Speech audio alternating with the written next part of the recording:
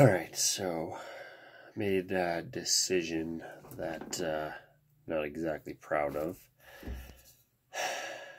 Purchased this this bottle of Four Freedoms blended whiskey, and, and as you can see, there's a pretty good amount missing, which means I've already tried it. And uh, I, someone's like, "Make a video," and I'm like, "I will." And then the more I look at it, the more I don't want to because I've already tried it and I don't want to try it again. But the reason there's not much in here is I was at a, I was at my parents for Thanksgiving and I brought this. I was like, "Who wants whiskey and coke? Who wants something to clean stuff with? Who wants toilet bowl cleaner? I got it right here. Four Freedoms blended. Whisk away your dirt. E mom, want to use it to clean something?" And she's like, "I would rather wash the dishes in the toilet." So this is as much as I could get rid of, even under those circumstances. Um, but it's not the worst part. let me let me give you a little background first. Eight ninety nine should have told me enough. Some of you are going, dude, why would you buy a whiskey that costed eight ninety nine? And I'm going, how could I not? My curiosity is like a cat that wants to get murdered. Uh, so I tried it, and I I regretted it. So, that's not the worst part.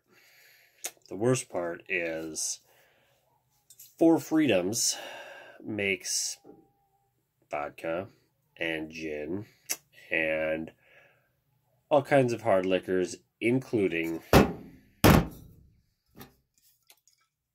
scotch. Yes, that's right. They make an $8.99 bottle of scotch. And if this tastes anything like the blended whiskey does, we're going to have some problems. Because when I drank this, it made me almost angry that whiskey existed at all. It's kind of like when you eat something you like, but then get food poisoning and throw up and never want that thing again. It was close to that. I went and had some Union Horse to wash out the flavor and, and salvaged my desire for whiskey, but uh, it was a pretty close call. If this tastes like that, you're to want to rip your junk off, or someone else will. And you'll be sitting there like William Wallace, not screaming freedom, but screaming, I probably deserve this um, for purchasing this. So, anyways, I'm gonna try it anyways, and I don't, I don't know that I should, but, but I did because I bought two bottles at eight ninety nine. You know why? Because when I was on the IKEA human assembly line up in heaven, and the angels were putting things together, the angel next to the guy working on me, or the guy working on me, was like, "Hey, dude, I lost a couple screws. Do you got any?" And he's like, "Yeah, I can totally spare a couple."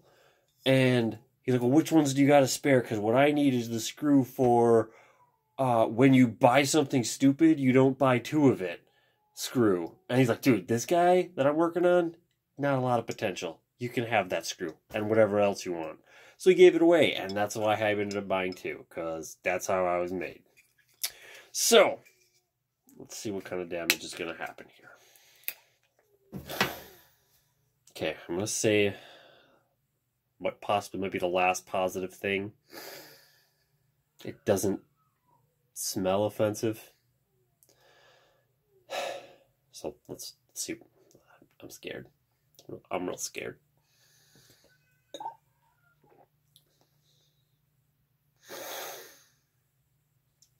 Oh man, that aftertaste isn't great, but honestly, it's not good.